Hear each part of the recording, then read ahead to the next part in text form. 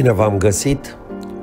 Tocmai a apărut pe piață și încă îl mai găsiți la toate punctele de difuzare a presei, cel mai recent număr, numărul 60 al revistei Evenimentul Istoric. Un titlu pe care am ezitat mult înainte să-l dăm pe prima pagină, spune așa, Ana Aslan, acuzată de crimă. Ce legătură poate fi între cuvântul crimă și numele savantei uh, Ana Aslan, inventatoarea celui mai cunoscut tratament uh, românesc, Gerovitalul, găsiți în paginile acestei reviste. De fapt, uh, la baza materialului colegei mele, Alice Barbu, stau uh, file din dosarul de securitate întocmit uh, la sfârșitul anilor 50, începutul anilor 60, atunci când uh, la Institutul Parhon se era descoperit uh, gerovitalul, adică înainte de a deveni produsul prin care România socialistă uh, ajungea la cele mai cunoscute personalități uh, ale vremii, internaționale personalități din uh, cultură, politică și uh, finanțe. Uh, o filă din acest dosar vreau să vă citesc. Ea este nu numai o pagină de istorie, este și o pagină despre caracterul oamenilor, pentru că în timp ce unii încercau să pună cap la cap descoperiri științifice, alții încercau să le demonizeze.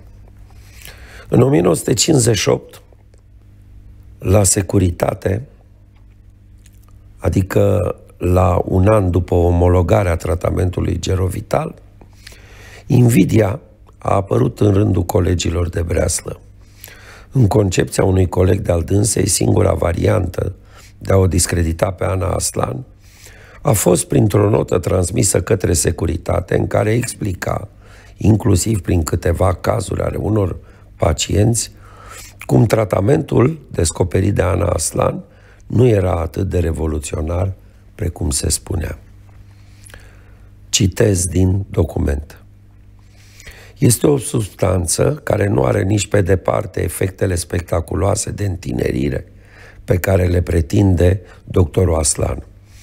Aceste efecte au fost întreținute în mintea publicului printr-o reclamă permanentă, fie prin pretinse lucrări științifice lipsite de seriozitate, fie prin reclamă în ziare și reviste, care în unele cazuri a luat caracterul unor reclame gazetărești de modă veche, mai ales însă printr-o întreagă metodă de speculă negustorească a acestor substanțe cu pretinse efecte miraculoase. Colegul Anei Aslan avea și un uh, nume conspirativ, agentul Matei.